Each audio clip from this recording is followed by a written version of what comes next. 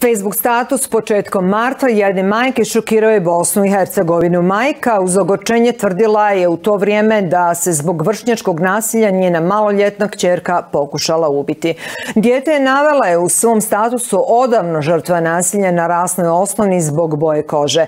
Tada u šoku očajna majka nije htjela davati izjave, no odlučila je sada za tačku na sedam progovoriti te ukazati da je mnogo ovakvih slučajeva, samo se o njima ćuti iz straha ili iz nemoći. Ika Ferrer Gotić e, sa nama je u studiju. Majka je koja godinama e, živi sučena sa nasiljem u svojoj porodici. E, tvoja kćerka je već godinama žrtva nasilja, bulinga, rasne diskriminacije. Zaista ti hvala što si došla u studiju. Znam da je ovom teško govoriti, e, čutalo se, čutalo se toliko mjeseci. E, nakon Facebook statusa e, koji je šokirao javnost BH, si čutala, osim vjerovatno si prijavljivala policiji.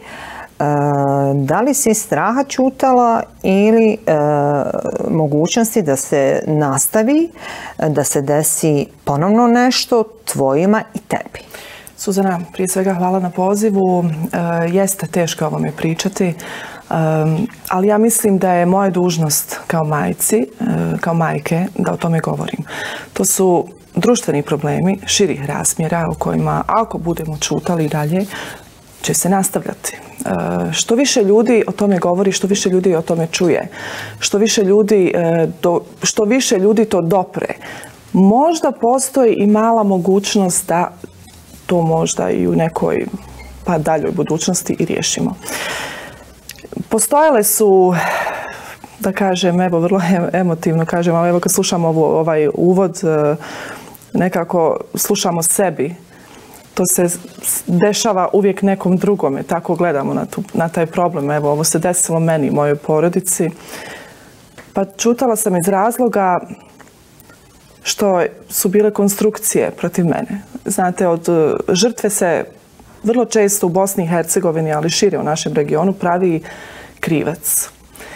Pa da bih zaštitila svoje dijete koje je u vrlo trenutno pa da kažem, lošem mentalnom stanju, nakon procjena psihologa, e, pokušala sam da se malo to smiri, da malo zašutimo, da, da pokušamo nekako da dobijemo je li bilo straha? Je li bilo straha kod tebe? Je bilo straha. Da vam, kažem, da vam kažem, onaj status je stigao četiri dana nakon što se to dogodilo. Nakon što je Saša, moja kćerka, 11-godišnja kćerka, stala na cestu i rekla da želi da okonča svoj život.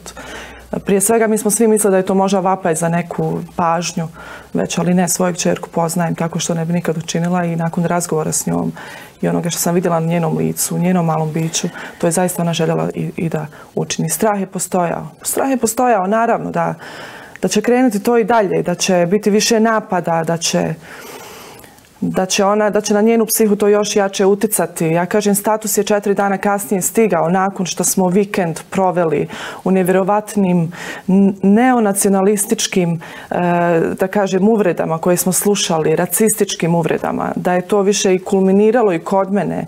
Ja nisam mogla pretpostaviti da će taj status tako daleko otići. Znači sve nakon tog statusa se još pogoršalo? Još se pogoršalo. Tad, je krenuo da se od klub, da se, da kažem, ono klupko odmotava. Zapravo si spoznala gdje živiš? Gdje živim, ko su ljudi oko mene. Jedna dobra stvar u svemu ovome što, da kažem, 95% građana Srbije, Hrvatske, Bosne i Hercegovine, Crne Gore, pa dobijala sam poruke čak iz, da kažem, Australije, Kanade, Amerike, tako daleko je to stiglo, cijeloj našoj dijaspori. Ja ne mogu da vjerujem da je, da je imalo takav jedan impakt na, na, na naše građane, čak i van granica Bosne i Hercegovine i naše regije. 5% ljudi prijetilo je. Sigurno sam imala poruke, imala sam, da kažem, pa sitne incidente čak na ulicama. Prijetilo me da će nas e, da, da će nas ubiti, znate, zato što smo mi dirnuli jednu žicu koja budi ovdje nevjerovatne emocije, e, a to je nacionalizam, E, to je ime, prezime, pripadnost, nacionalizam. To želi da pokaže koliko smo se mi bavili u zadnje vrijeme nacionalizmom, a ne činjenicom da je jedna 11-godišnja djevojčica željela da okonča svoj život. Razumijete u, u kakvom smo mi e, razlikama i čime se mi u stvari Da, upravo tvoj slučaj i tvoje čerke je pravi primjer rasizma, e, segregacije koji su umalo mogli dovesti do najtragičnijeg mhm. slučaja. Međutim, to je trajalo odavno. Jesi li tražila e, pomoć? Jesi li je dobila? Naravno da jesam. Ja sam tip osobe koja neće e, pustiti neke stvari da, da tek tako prolaze pored nas. Uh, meni je, to traje od prvog razreda osnovne škole. Mhm. Saše. Dakle, ona, je, ona je jedno vrlo inteligentno Ona je sada koji razred? Ona je sada šesti razred, mhm. završava šesti razred. Šest godina? Dakle, šest godina to traje ukupno. Prvo njeno iskustvo sa školom i sa vršnjacima bilo je upravo to vršnjačko nasilje i vrijeđanje na osnovu njene boje kože. Znate, dijete koje, ona nije rođena u Bosni i Hercegovini i vi dovedete svoje dijete u Bosnu i Hercegovinu u svoju zemlju, obećate svom djetetu da će sve biti u redu i da je škola nešto o čemu treba da se raduje i njeno prvo iskustvo bude upravo to da ona e, bude fizički i verbalno napadnuta. Vi možete zamisliti kakvu averziju tog djeteta, kod tog djeteta stvara škola i vršnjaci. Dakle, od prvog razreda osnovne škole. To je trajalo tri mjeseca i kada nisam uspjela da ispregovaram sa menadžmentom škole i sa pedagozima, jer je to sve bilo, pobogu, dječje, onda se mi ispisala... Znači, samo je obrazloženje... To je dječje. To se dešava. To je tako. Prihvatite Šta to kao... ćete vi sad? Da. Upravo tako. Vi to prihvatite, to je dječje, to djeca rade. Ne, to djeca ne rade. Dok god mi budemo razmišljali da to djeca rade, to će se događati. Imat ćemo slučajeve kao što smo imali slučaj Mahira Rakovca pokojnog i, gdje smo mi bukvalno cijelu jednu porodicu čiji smo trag zatrli na, na bosansko-hercegovačkim prostorima. Ja to ne želim da dozvolim, neću dopustiti da se to meni desi. koliko, upravo zato hoću da, da pitam jer sigurna sam da si stekla mišljenje, koliko je naše društvo koje ono vrlo često zovemo tolerantnim, uistinu to prema drugim i drugačijim. Gledajte, vi e, sada pitate me to pitanje i vjerovatno će gledalci u jednom momentu i pomisliti kako, a šta ona ima da govori o našem bosansko-hercegovačkom društvu, da li ona zaista e, kompatibilna da o tome priča. Da, ja jesam kompetentna da upravo o tome govorim. E, ja govorim nešto što na osnovu svog vlastitog iskustva. Ja znam da mnogi ljudi u Bosni i Hercegovini i šire u našoj regiji, ali evo u Bosni i Hercegovini dijele moje mišljenje. S obzirom na reakcije koje smo imali jeli, nakon onog Facebook statusa i mhm. nakon onog svega što se desilo, mi kavani kada se predstavljamo. Predstavljamo se kao društvo ljudi koji su, evo, pod navodnim znacima merhametli, koji su tolerantni, koji vrlo rado primaju, da kažemo, drugačije i, i e, ono što, što, da kažemo, nekako plijeni neki e, interes jeli, kod, kod naših građana. Da smo vrlo nasmijani, vrlo smo otvoreni. Mi jesmo vrlo nasmijani, vrlo otvoreni. Ali kada... Šta se krije za toga? E, šta se krije za toga? Krije za toga da kada uđete malo dublje, da to nijedan posto nije tako. Mm Postoje dobri ljudi, postoje ljudi koji, koji nevjerovatne stvari čine, koji, ja kažem, nas ne, ne diskriminiraju svi, ne cijelo društvo. Ja kažem, jedan segment društva koji je imao nevjerovatan uticaj na zdravlje moje kćerke i moje porodice. Znate, ali kažem, dogod ima taj procenat ljudi koji je veliki procenat ljudi mi imamo problem jer u manjini su oni koji ne diskriminiraju. Koliko te pogađa to, uh, rekla si sama da uh, tvoja kćerka nakon uh, ovoga je pretrpila veliku traumu. Koliko imaš nadu i vjeru da, da, da će doći do oporavka, da će se ona ponovno asimilirati i ponovno... Da li je zapravo priča za tvoju porodicu, ova priča završena? Ova priča o diskriminaciji i racizmu e, nije završena zato što se desilo nekoliko incidenata i nakon e, ovog velikog incidenta koji je umalo... Ti si mijenjala, uh, mijenjala se škole gdje... Ovo je šesta, ovo je peta škola, ali evo, kažem, promijenili smo. Naravno. Mi, mi tražimo bolje. Mi tražimo zdravu razumijevanje, tražimo zdravu sredinu, tražimo nove početke. Ali, vi možete shvatiti na, da u jednom malom Sarajevu u kojem Ma konstantno, evo sve se bojim nešto da ne kažem pogrešno, da, da ne budem ponovno napadnuta, ali evo želim da budem vrlo iskrena. E, vrlo često čujete da je Sarajevo, da Sarajevo struktura stanovništva više nije ista. Evo ja ću to reći. Struktura stanovništva nije ista u Sarajevu. I ako imate na teritoriji jednog malog Sarajeva, Sarajevo je mali grad, mi smo živjeli u ve- većim gradovima. Sarajevo je jedan mali grad, jedna mala sredina. Gdje svako zna svakoga. I gdje svako zna ko je s kim popio kafu i ko je s kim, da kažem, prošetao ulicom i ko je s kim u braku ili u vezi i slične stvari. Dakle, mi smo jedna mala mahala.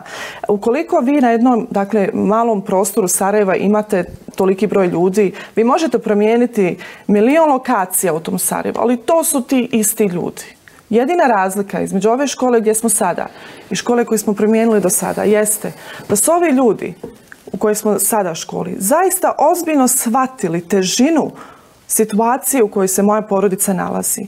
I ono što se meni e, trenutno sviđa i što me umiruje koliko toliko, zato što su, što vrlo često organiziraju odjeljenske zajednice i nastavničke zajednice i što su konstantno u kontaktu sa mnom, gdje me nastavnici i učiteljica koja je Sašu ranije imala, svaki dan izvještava o tome gdje je sjedila, da li joj je lice bilo tužno, da li je se nasmijala taj dan. To me jedino raduje. Želim da budem u toku konstantno, znate. Bez obzira evo na posao koji mi radimo, vi znate kako je nama, kakve smjene radimo. Uvijek morate biti u toku uh, izraza lica vašeg djeteta nakon onog što se desilo. Zato što je Saša pretrpjela vrstu nervnog sloma. Od tog momenta to dijete je drugačije.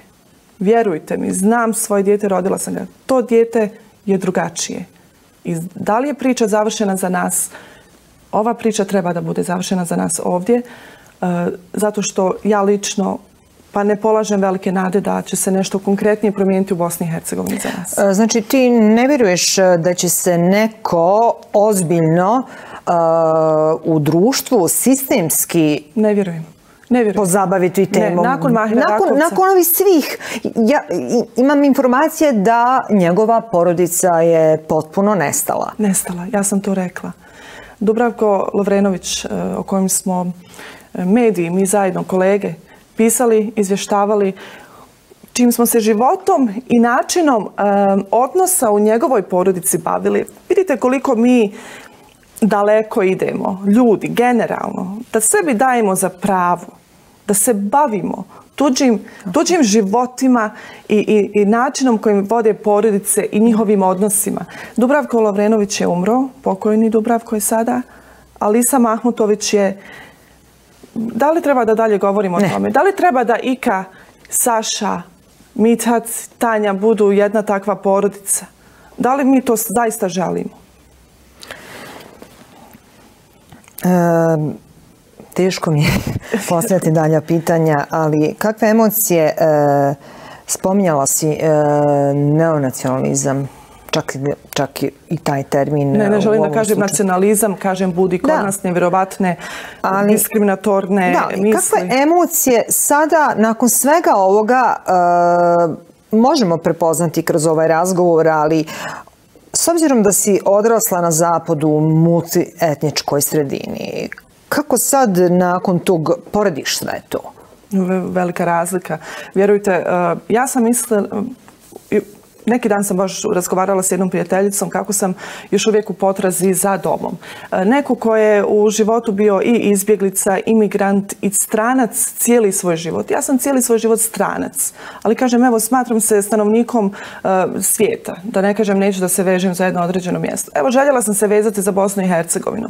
Svoju djecu koja eh, nisu rođena u Bosni i Hercegovini, dovela sam u Bosnu i Hercegovinu za, da kažem, da, da stvorimo jedno tlo, korijene da pustimo, da, da imamo ono što svi imaju i čime se ponose, a to je identitet, patriotizam. Ja sam željela da osjetim emociju kada recimo himna jedne države zasvira. To sam željela. To su neke, da kažem, subjektivne stvari koje čovjek u svom životu u jednom momentu pokuša da pronađe, pogotovo ako je se mnogo kretao po svijetu. Evo to sam ja pokušala. I ne mogu da vjerujem, ne mogu da vjerujem da je Bosna i Hercegovina Jedina zemlja u kojoj sam, bila sam u 14 zemalja, jedina zemlja e, koja me je toliko diskriminirala, odnosno moju djecu. Kako voljeti zemlju u kojoj ste se rodili, a koja vam nije prihvatila e, djecu, čeljade, koja vam je diskriminirala djecu, koja vam je odbila djecu, ja sad ne govorim ponovno svi, ali kažem generalno, ako vaše dijete je depresivno i ne želi da tu živi i ona je homesick, da kažem, za drugu državu, vi znate da niste dobrodošli.